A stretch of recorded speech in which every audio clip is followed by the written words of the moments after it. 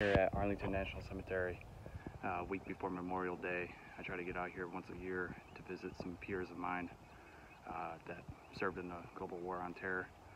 But I want to I want to show something off. Uh, in more than 500 Major League Baseball players that served in World War II, only two were killed in action, uh, fortunately and unfortunately. One of those players was Mr. Elmer Gedeon. Served in the Air Service.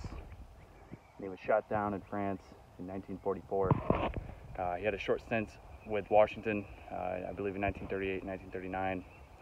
And uh, he's quoted telling his cousin before the war, I'll be back so I can play. Never got that shot.